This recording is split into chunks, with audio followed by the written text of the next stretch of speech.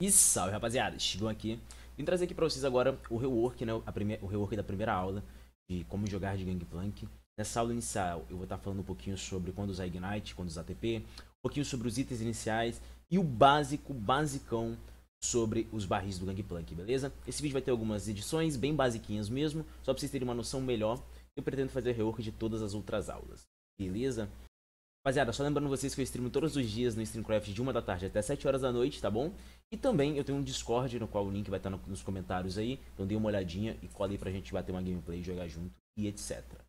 Agora vamos lá, cara. Uh, eu acho que a parada mais perguntada quando eu tô em stream é Chigão, quando que eu uso TP e quando que eu uso Ignite? Eu vou tentar explicar um pouco, mas aqui de uma forma mais ampla. Uma forma que eu não abordei na primeira videoaula, beleza? Mas vamos lá. Uh, você jogando de GP, para você saber quando você deve usar TP ou Ignite, você tem que visualizar o time adversário. São várias coisas que você tem que pensar antes de decidir isso. Vamos lá, a primeira coisa é. Eu sei controlar o Wave, eu sei sobre o Wave Control. Se você não tiver noção sobre o Wave Control, você não souber controlar o Wave, você jamais deve utilizar o Ignite no top. E mesmo você matando o cara, se você controlar o Wave errado, o cara der TP, você, ele pode, tipo, te empurrar debaixo da torre e te fazer perder muitos, muitos minions. E mesmo você tendo a kill, você fica atrás dele. Então, primeiro passo. Você sabe controlar o wave? Se você não sabe controlar o wave, você vai de TP. Beleza? Segundo passo que você deve analisar. Uh, Chicão, eu tenho uma noção básica de controle de wave. Então, sim, eu consigo controlar bem a wave. Eu tenho a noção básica de como setar o wave, de como, como frisar o wave. Eu posso, ter, eu posso Ignite nessa ocasião? Sim, você pode de Ignite nessa ocasião. Mas aí tem outras coisas que você tem que analisar. Por exemplo, uh, o seu jungle pro jungle inimigo. Digamos que no seu time tem, por exemplo, um Nocturne. Por exemplo. Que possivelmente ele começou. Você tá no lado azul. Você deu lixo pra ele no blue. Ele provavelmente vai fazer uma seed descendo. Então ele vai fazer o aronguejo dele. Uh, vai, vai tentar fazer um power farm para rushar 6 o mais rápido possível. Digamos que no outro time tenha, por exemplo, um Shinzal. Uh, e você esteja, sei lá, contra um Jace ou contra um Punk, um boneco muito forte no game, no qual o 2v2 sempre vai ser do time inimigo. Nessa ocasião, você não vai de Ignite, entende? Você não vai de Ignite em matchups onde o top inimigo é mais forte que você no early game, porque não tem sentido você de Ignite, porque você possivelmente vai tomar pressão, então você precisa do TP para poder não ficar atrás. Você não vai de Ignite em matchups onde o jungle inimigo é mais forte que o seu jungle no early game, porque pelo esse mesmo motivo, porque se o 2v2 vai ser deles, e você possivelmente vai tomar gank early game, você vai precisar de usar o seu TP para poder voltar para a rota. Beleza? Uh, e agora, Chigão, você vai me explicar um pouquinho sobre o Eve Control não, eu não vou explicar sobre o Wave Control nesse vídeo, tá bom? Também não vou estar explicando sobre como setar o Wave, essas coisas. Isso eu vou trazer em um vídeo mais elaborado lá pra frente. Nesse vídeo eu vou estar trazendo conhecimentos básicos de Gangplank, coisas básicas. Começando com isso em relação do TP e do Ignite. Então, concluindo, o TP você vai utilizar quando você for um jogador novato de GP, Sempre você vai usar o TP, tá bom? Você nunca vai usar Ignite sendo um jogador iniciante de GP, não pelo menos pro GP na top lane, beleza? Porque a top lane é uma wave é um, uma rota mais difícil de controlar o wave, no mid é um, pouquinho, um pouquinho mais fácil. Então aqui agora eu vou estar explicando um pouquinho de noção para vocês de onde guardar. Vamos lá, você jogando de GP, você tem que ter um pouquinho de noção no seguinte aspecto. O GP level 1 e 2 é um boneco relativamente fraco em rota. Por mais que ele seja forte, ele não tem muita condição de, de reagir a ganks. Então, assim, o GP é muito forte, se você conseguir utilizar bem o potencial dele de reset, de passivo e etc. Mas ele é muito fraco para resistir a ganks no level 2. Entende? Level 3 ele fica um pouquinho melhor porque você vai upar a laranja. Então você consegue fugir dos ganks.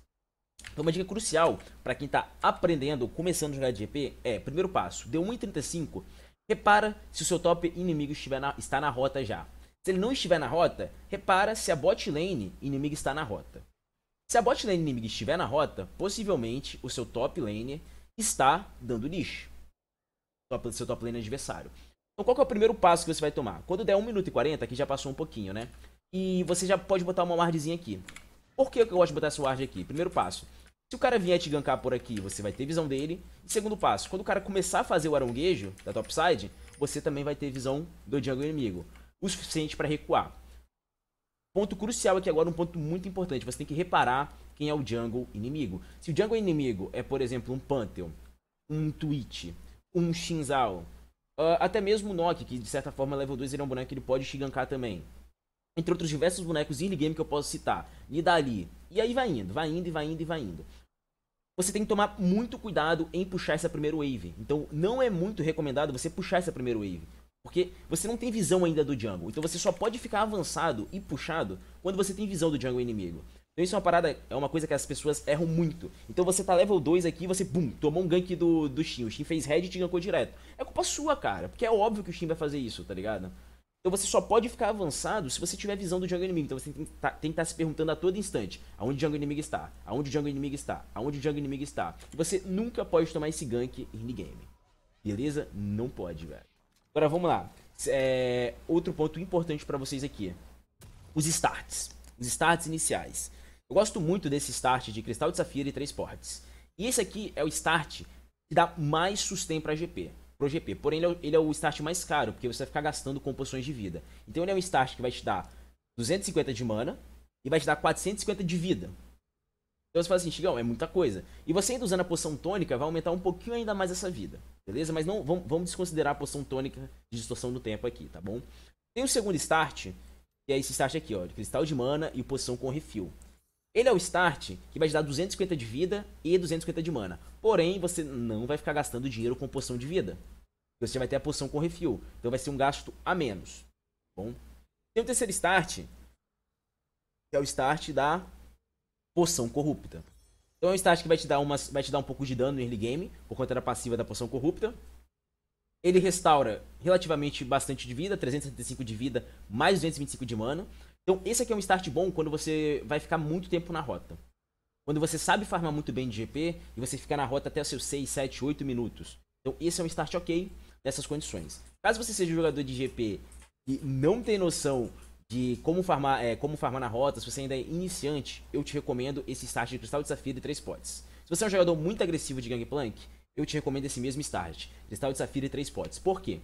Eu, particularmente, considero esse start o mais forte, porque você só precisa de 700 de gold para o primeiro power spike do GP, que é o Fulgor.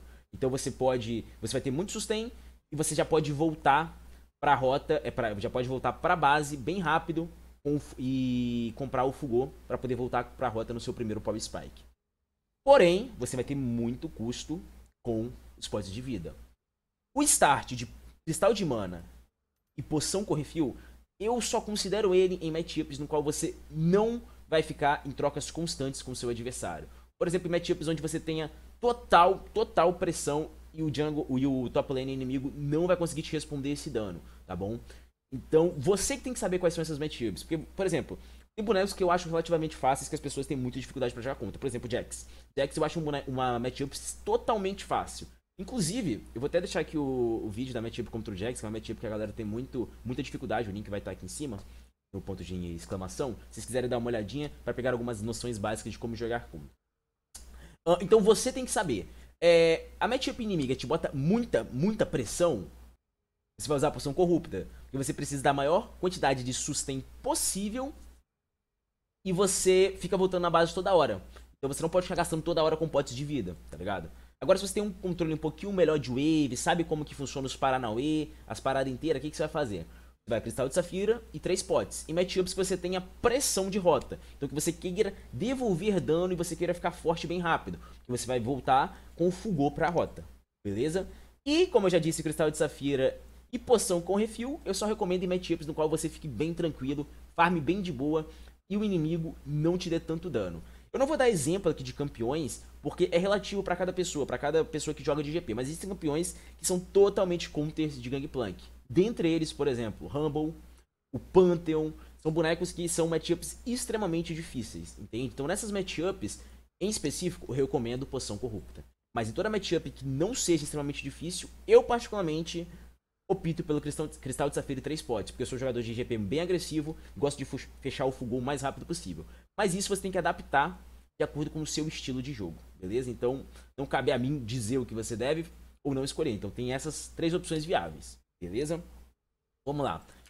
Uh, eu quero explicar um pouquinho pra vocês também. Ah, guys, vamos lá. Inclusive, aqui em cima agora vai estar tá aqui, ó, ponto de exclamação, clica lá. Se você quiser ter uma noção básica sobre os barris do Gangplank, é uma coisa que eu acho muito, muito importante. Você precisa de entender sobre os barris do Gangplank. Beleza? E por último aqui, rapaziada, eu quero explicar uma coisa para vocês do GPtão, porque essa série aqui é basicamente a gente conhecendo o nosso querido e amado Gangplank. Então essa é só a primeira aula com noções básicas para vocês, entendeu? Então se você quiser aprender sobre o GP, eu recomendo você assistir todas as outras aulas. Vou tentar trazer o máximo de aulas possíveis, com o máximo de informação possível, beleza? Vamos lá, uma coisa bem, bem importante para vocês, só para dar uma palhinha para vocês. Sempre que você quebra o barril, a sua passiva reseta, beleza? Então você pode utilizar isso de formas incríveis para poder dar muito, muito, muito dano no inimigo, tá bom? Inclusive, eu vou estar tá deixando, é, como eu já disse, um ponto de exclamação, sobre a aula 3 que eu fiz sobre os barris, né? Foi antes do rework das aulas. Essa aqui é a primeira aula desde o rework. Então eu vou fazer um rework de todas as aulas e vou acrescentar mais aulas para vocês. Tá bom? Então é isso aí, galera. Me deem sugestões de que vocês querem saber sobre o GPTão da massa. Me deem sugestões de que vocês acham legal saber o que vocês têm de dúvida para eu poder ir trazendo nas próximas videoaulas. Me deem sugestões se vocês gostaram dessa videoaula mais explicativa ou não, porque eu realmente preciso do feedback de vocês. Fora isso, rapaziada, não se esqueçam de se inscrever no canal, não esqueçam de deixar aquele like maroto, não esqueça de vir me assistir no Streamcraft e, o mais importante de tudo, não esqueçam de beber água. Fiquem com Deus e os meus mais sinceros e singelos. Valeu, irmão.